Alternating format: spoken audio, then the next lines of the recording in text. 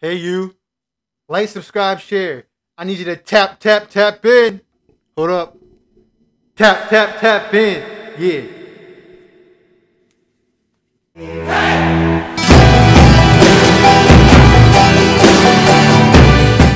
Hey you, like, subscribe, share. I need you to tap, tap, tap in. Hold up. Tap, tap, tap in. Yeah. Tap, tap, tap in. Tap, tap, tap. kind of obsessed with that song, low key, am not gonna lie. You guys, today I'm here to talk about what happened to me today. There is still greatness happening in 2020. I'm so excited, you guys. Um, so today, I don't have a car. A lot of people don't know that. But I went and I walked probably a 20 minute walk down to a place called Donut Delight. They have them all over Connecticut. And this is a coffee colada, aka the equivalent to a frap at Starbucks. And I didn't have a car. So I went in, go to the lobby and with my mask, and they were like, oh, go around back because we're closed, but you can go through the drive through. I'm like, I don't have a car, but okay. And like they realized that because I went through the front. So I went around the drive-through. I got to the drive-through. Someone in front of me was taking their order. They they drove up. I went next. And I'm like, hello, and then they're like, this didn't respond to me at all. No response, no nothing. I'm just like, he just told me to go through the drive-through, like, and I think he knew I didn't have a car because I didn't. I would went through the drive-through. That was the case. So I'm just like, maybe like whatever. So the guy in front of me, he kind of like waited a little bit, like he drove up and not all the way up, and he goes, "Did the guy answer you?" I was like, no, but he told me to come back here, so I don't understand why he's not answering. But I'm like, whatever, I'll just go to Starbucks. And he goes, no, no, no, I'll order food from the window. So just like come around. So I went around and the guy ended up just ordering for me because the guy wanted to take my order. Um after he told me he would already, so I was a little bit confused. But like um he took the guy took my order for me. Um I got a coffee frap, which is a coffee colada, which is a quick coffee smoothie which is the equivalent of a coffee colada. And he ended up paying for it. He said, just pay it forward. There's also a girl behind me who did the same exact thing. So it was me, it was a car in front of me, me, then another car, then a girl behind that car who also walked into the door, who also was on foot.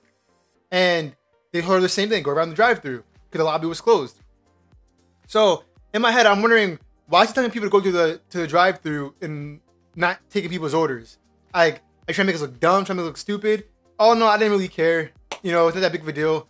I shouldn't be drinking sweets anyway, but I like them. I thought about it all day. I really wanted it. And I'm just saying this. In 2020, God's still blessing and doing amazing things. And in the day, the guy paid for my drink, and I got two donuts from the guy who was supposed to take my order from the employee. And it looks delicious. Let me. Yeah, it looks delicious. But I got two free donuts. I think he felt bad because I felt like he wasn't gonna take my order at all. But all in all, I was able to bless somebody else because somebody blessed me today. So the girl behind me that was after the car behind me, I paid for hers. I waited and I paid for hers. I'm not saying to say that I did this. I'm saying to say that goodness is contagious.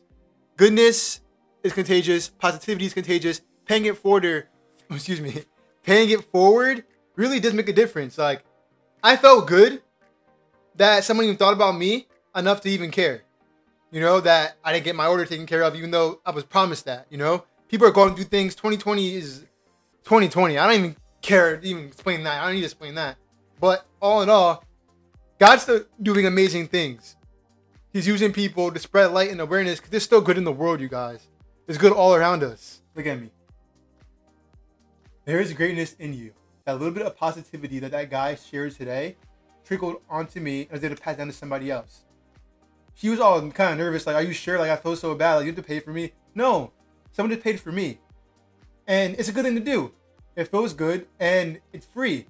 Not really. It's not really free. It's free to make a choice to help. Pass it on. Pay it forward. Do something great for somebody else. Yeah, even if they did something nice to you, do something nice for them or for somebody else. Don't do it because you feel like you owe somebody. Do it because it's the right thing to do. And it just feels good. It feels good doing good. Do good, you guys. It's a whole mood. God is doing amazing things in 2020.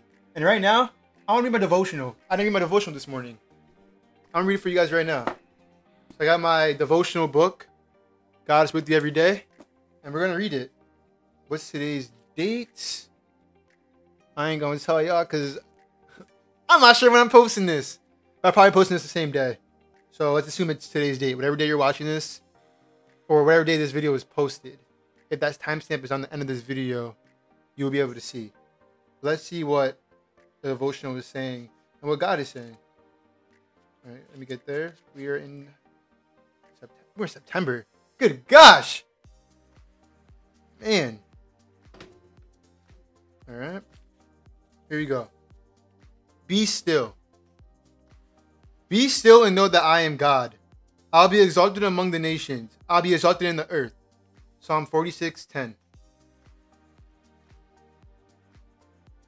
And the devotional reads Jesus taught us to pray with reverence when he modeled for us, Hallowed be your name. This is Matthew 6 9. This phrase is a petition, not a proclamation. A request, not an announcement. Be hallowed, Lord. Do whatever it takes to be holy in my life. Take your rightful place on the throne. Exalt yourself, magnify yourself, glorify yourself. You be Lord, and I'll be quiet. Be still and know that I am God. Psalm 4 6 10. This verse contains a command with a promise. The command, be still. Cover your mouth, bend your knees. The promise, you will know what I am. God, the vessel of faith, journeys on soft waters. Belief rides on the wings of waiting. In the midst of your daily storms, in this storm that has swept over the country and even the entire world, make it a point to be still and set your sight on Him. Let God be God. Let Him bathe in, let Him bathe you in His glory, so that the both, so that both your breath and your troubles are sucked from your soul. Be still, be quiet, be open, be willing. Take a moment to be still and know that He is God. Be still and allow God to be hallowed in your life. Yo, God is saying something right now. I didn't even, you guys, I didn't even open this book until I just opened it just now. I promise you. And literally, this is a book by Max Lucado. Give him his credit. You guys, this is literally what we were talking about. The effect of the country. Every, yo, God knows. He knows. Doesn't matter if you don't speak up. He knows. But seek Him, be still in Him, and acknowledge Him in all your ways. Man. Well, I hope you guys having a great day. That was my talk today. Mm-hmm. Mm-hmm. One more thing.